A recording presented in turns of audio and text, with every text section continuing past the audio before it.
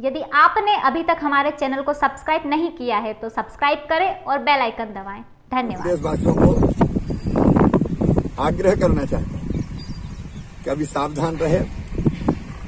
ये बात सच है कि मध्य प्रदेश में आज पॉजिटिव प्रकरण कम आ रहे हैं, आज सत्ताईस आए और पॉजिटिव केस भी तीन सौ बानवे बचे एक्टिव केस लेकिन Zika virus delta plus variant ये सब इतने खतरनाक हैं एक बार अगर ये फैलना शुरू हो गया तो बाद में बहुत कठिनाई होगी। इसलिए सरकार हर संभव उपाय कर रही है।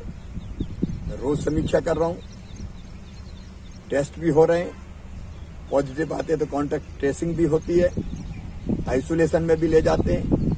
तीसरी लहर से निपटने के लिए सारी आवश्यक तैयारियाँ की जा रही है। लेकिन जिस ढंग से ये बहरूप या वायरस रूप बदलता है बहुत सावधान रहने की ज़रूरत है। इसलिए जनता भी मास्क लगाए, दूरी का पालन करे और कोविड के संक्रमण को रोकने के अनुकूल व्यवहार करे, ये मैं बार बार आग्रह कर रहा हूँ। क्राइसिस मैनेजमेंट कमेटियाँ भी हमारी एक्टिव है।